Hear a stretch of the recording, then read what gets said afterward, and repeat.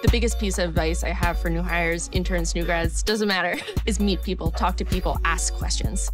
It's okay to not know the answer to things and ask for help. You'll often find yourself wearing many hats, which is a very valuable skill. Ask your mentors to empower you to reach your goals. The projects are real world projects that teams are actively using. Lyft asks for people to be creative technologically in a way that we've never been before.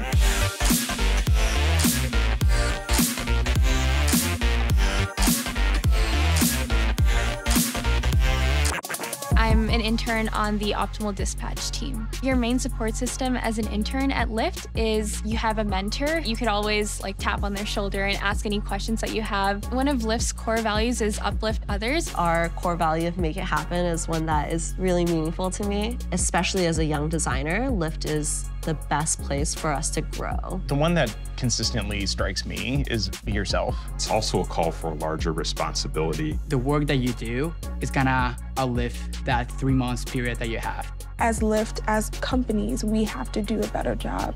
My personal mission is to make sure that students of color have access to Lyft jobs opportunities.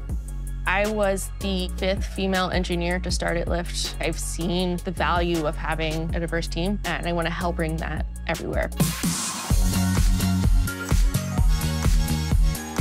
What I think a lot of people don't realize is how transformative and how powerful transportation is. For someone that's earlier in their career, I encourage them to really think holistically about projects. Also think about what comes next. I think always apply because there's always a chance that you'll get it. My dream is that they leave fundamentally ready for something more.